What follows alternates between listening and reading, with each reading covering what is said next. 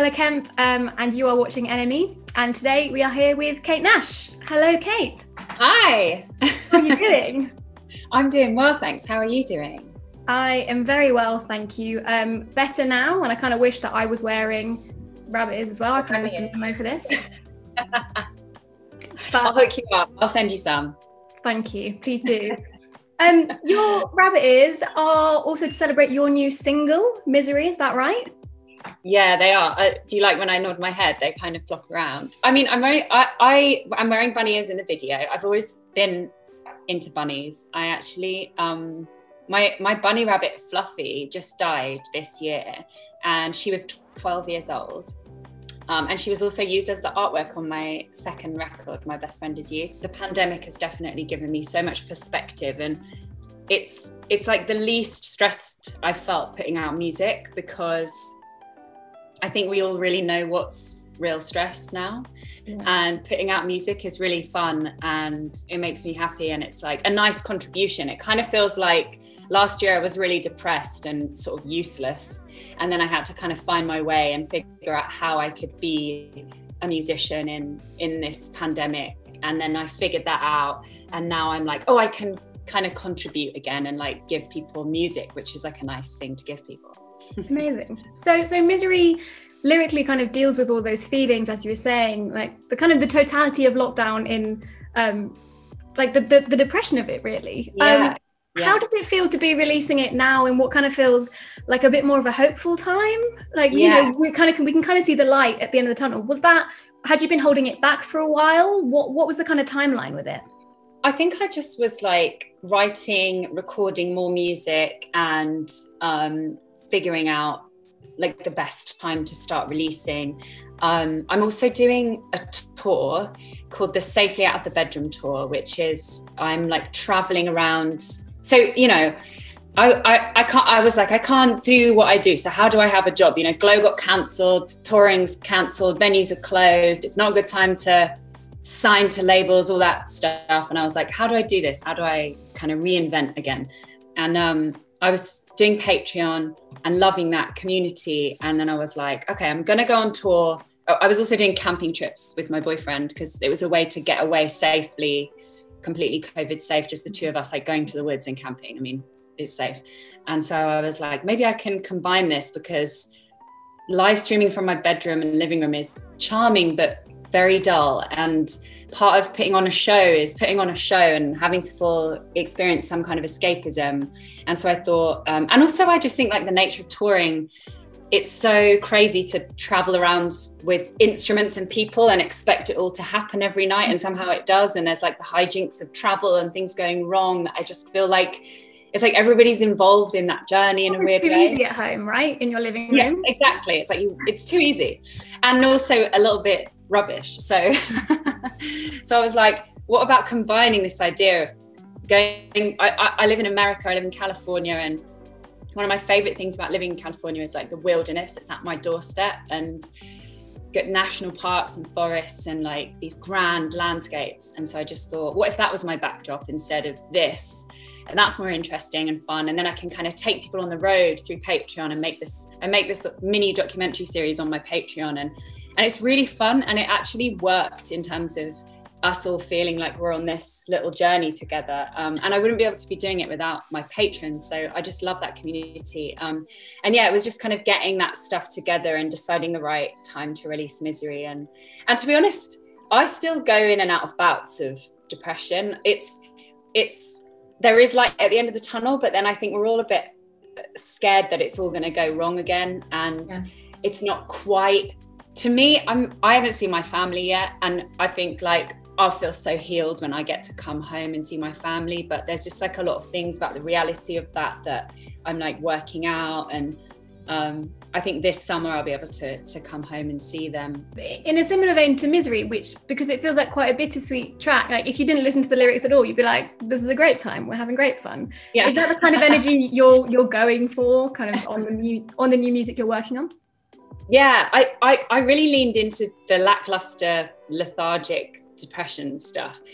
I think sometimes i have a thing where i i i'm an overthinker and i have to work things out. And and so when the lockdown happened i was like oh i can't i'm depressed i can't do anything. And like what does that mean? Am i even an artist? Like like like it was like day three of lockdown and i was like having an existential crisis which is like very me. I feel like that happens to me the day i get home from tour. I'm like what do i do now? I'm no one. I have no purpose and uh, i think it's kind of a common thing with artists and musicians. Um it's like constantly searching for purpose and mm. and and when you're you know I think for a lot of musicians, our identity was taken away because we pride ourselves on touring and we pride ourselves on this like nomadic lifestyle in a way. And it's such a part of your, who you are that not being able to do it, it almost is like, oh God, well, now I just come home and, and who am I at home? Who yeah. am I here in these walls? And without that thing that I feel is just me, you know, if that's not possible again, who is that? Who am I?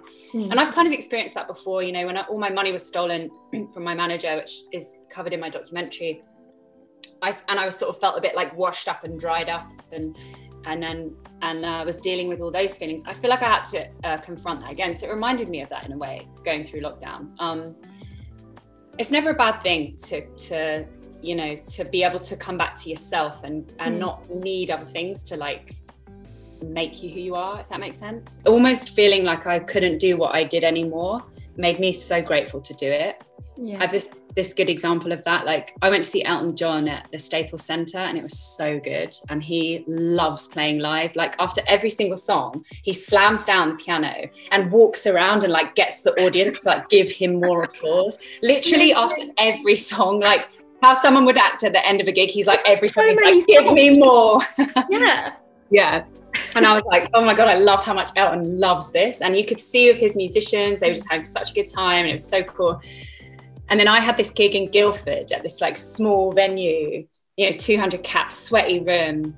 And I remember looking around and I was like, I'm feeling what Elton's feeling right now. And I was like conscious of it. And we were just having the best show. And I remember thinking, like, if you think that you're going to get what Elton feels at the Staples Center, you'll you'll never get it. Like you that will feel really empty. Like i've played that hammersmith apollo sold out and felt really empty because of like other things that were going on and where i was. But like with where i am with my band like the bond that i've formed like how i've grown as a performer i do a 200 cap room and like i know me and elton have got that same zing. We cannot measure success in the same way. Um i remember i really remember this vividly like katy perry's album um Prism, when that came out, that was when the industry started like shifting how they talked about pop stars. And I remember everyone being like, oh, the record's just not performing, you know, it's just she's not doing as well. And I was like, if Katy Perry is not doing as well, no one's doing as well. Like Katy Perry is Katy Perry. Katy Perry is doing really well.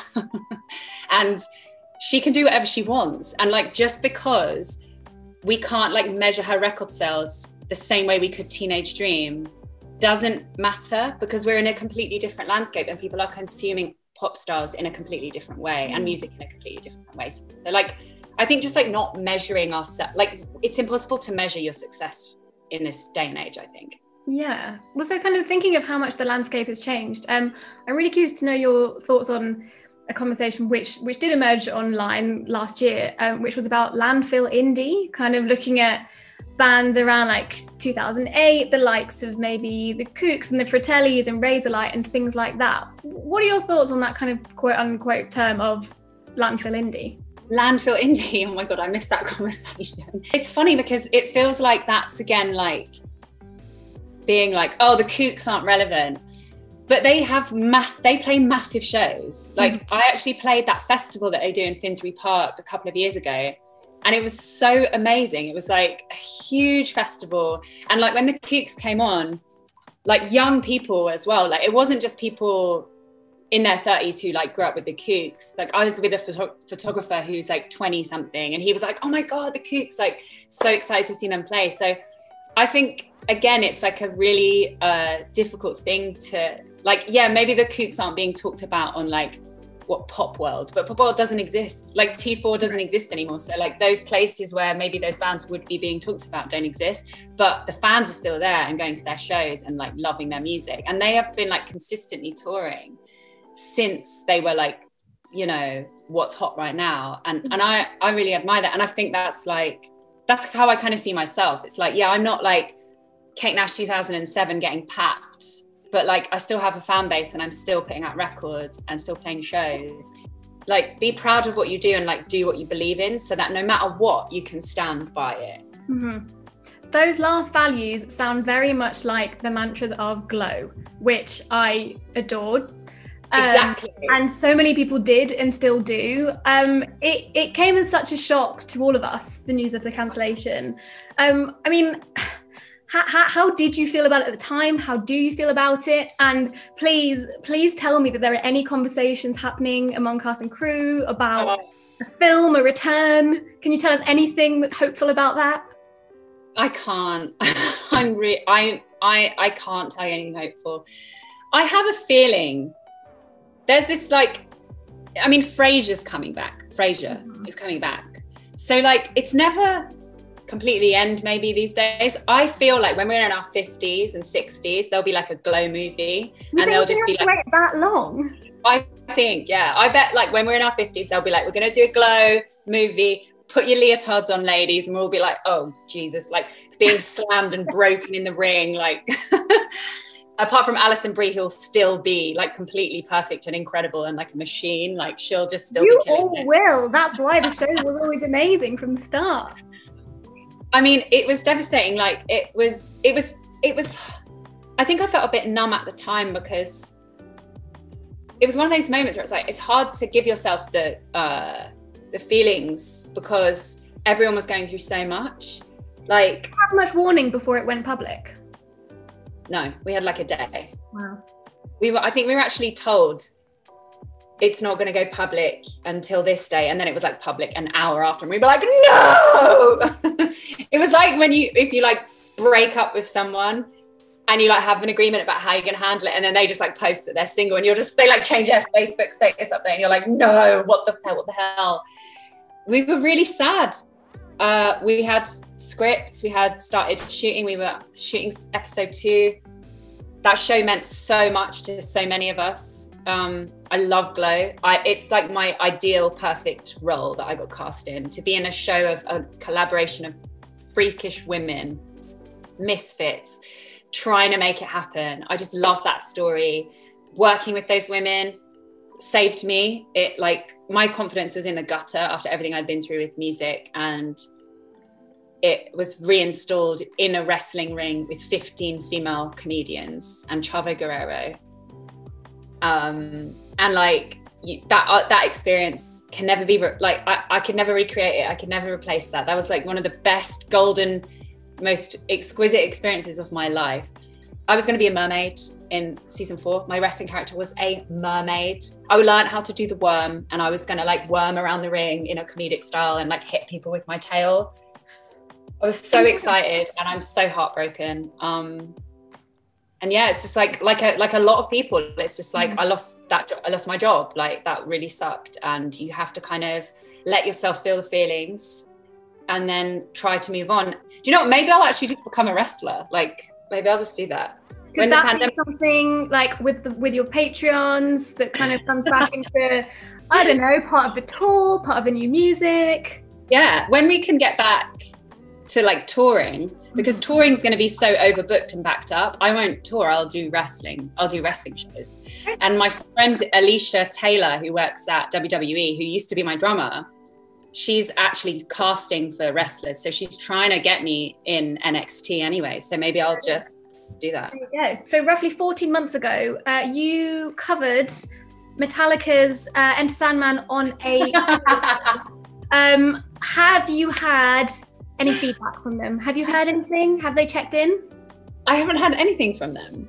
But maybe you could like tag them in this interview or something sure. and be like, I'd love to know what they think. And yeah, I would love I mean, to go down to collab. You want to say to them? Is there anything they need to know for context about the cover? Why yes, so, uh, the tin whistle was my first instrument. I'm Irish and I grew up playing tin whistle, playing bodhrán, and Irish dancing. And, you know, I've been playing a few tunes and I learned cover their song. And I would be so happy to put tin whistle on any new music that they're working on. I even imagine just like those vocals with like just tin whistle. How about that? Mm-hmm. How about just do something totally different and daring? I'm in. Cool. And available, available on Zoom anytime. Amazing. Thank you so much for your time. Thank you for Thank you. Thank you for oh. the tin whistle. And I hope we'll see you very soon at one of the COVID safe gigs on the road. Yes, and more music to come. More music to come. Amazing.